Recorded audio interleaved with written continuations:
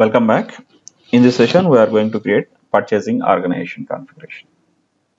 See, we are going to use the single purchasing organization for both the plants. Go to this path. Definition, material management, maintain purchasing organization. Click on new entries. Our purchasing organization is double eight double zero.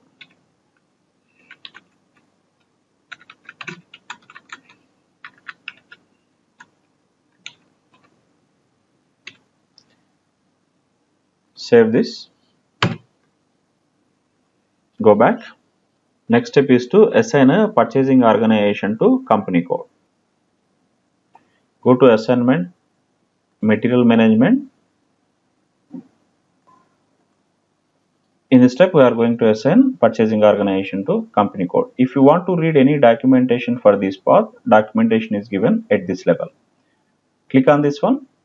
You will find all the documentation, what exactly the setting is. If you have any doubts at any point of time, you can read the documentation given by SAP. Close this.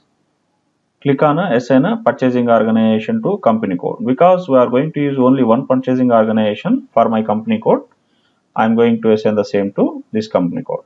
Click on position, purchasing organization double eight double zero.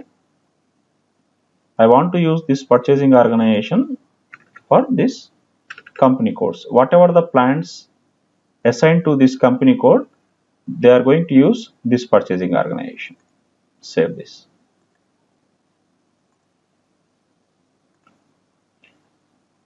Next step is standard purchasing organization. Go to SAP, go back, click on this standard purchasing organization. This is the standard one because uh, there is a pipeline.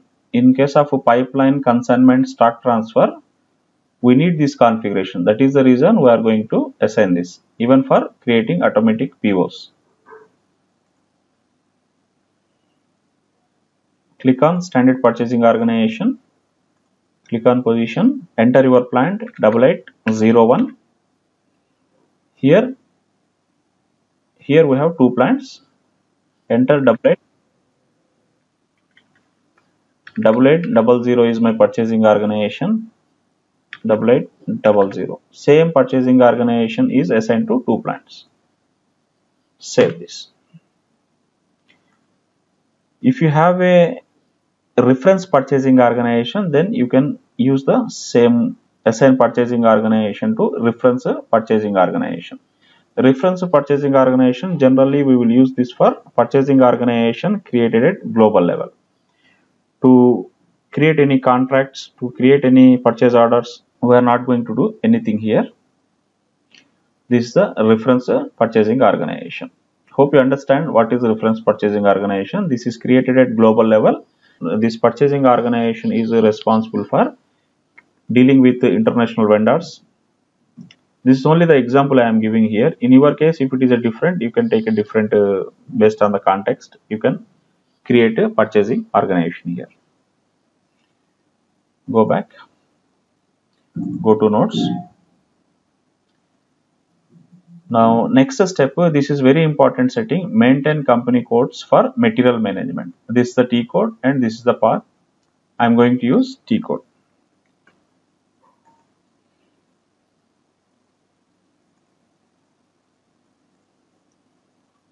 Enter t code here click on position enter your company code double eight double zero since I copied this company code from 0001, what is the year mentioned here?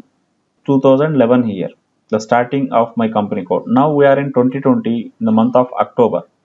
So when you are starting your company code, then you have to enter the same here. You change this, otherwise it will create unnecessary problem for opening and closing posting periods. So enter 2020 period is 10 rest leave it as is. Press enter. See these details automatically got changed here.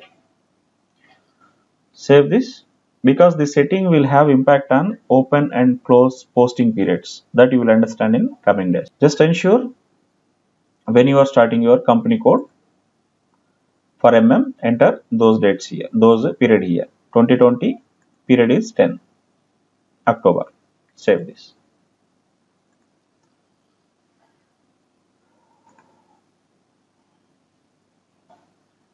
This create purchasing groups. Go to this T code.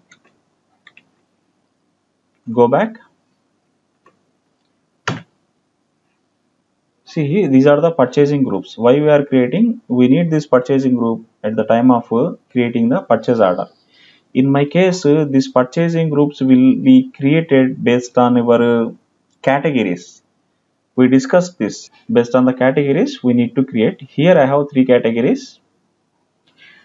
Double eight zero one double eight zero double eight zero bath double eight one.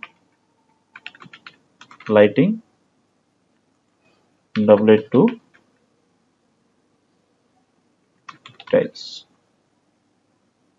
Save this. We have successfully created purchasing groups this this group is responsible for procurement of bath articles. This group is responsible for procurement of lighting articles. This group is responsible for procurement of tiles.